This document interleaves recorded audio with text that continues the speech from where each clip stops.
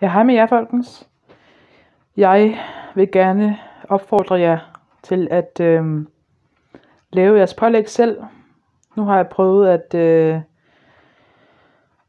øh, lave noget kalkun bryst øh, pålæg selv, fordi at øh, stort set alt pålæg øh, i Danmark indeholder MSG tilsætningsstoffer, som for eksempel det dextrose, maltodextrin, citronsyre, Øhm,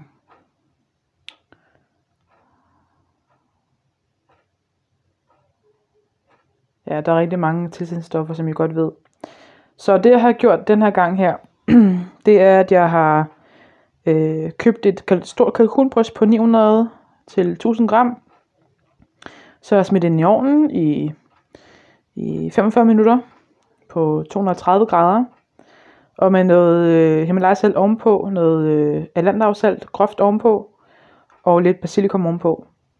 Og så har jeg skåret ud i skiver, som I kan se her. Jeg har lige spist noget af det til øh, aftensmad.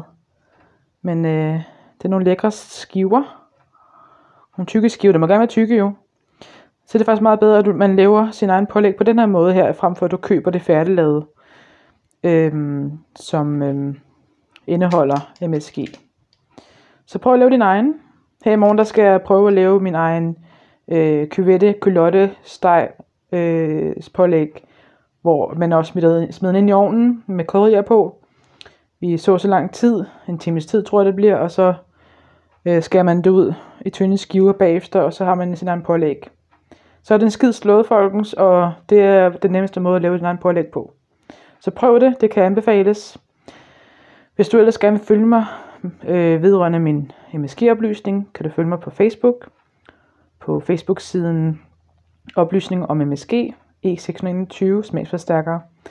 MSG-oplysning, Facebook-gruppen, Instagram, YouTube, Pinterest og Twitter under oplysning om MSG. Men Pinterest det er MSG-oplyseren. Del videoen, så vi kan få folk til at leve sundere, især med deres pålæg her, som er et stort problem i Danmark. Hej!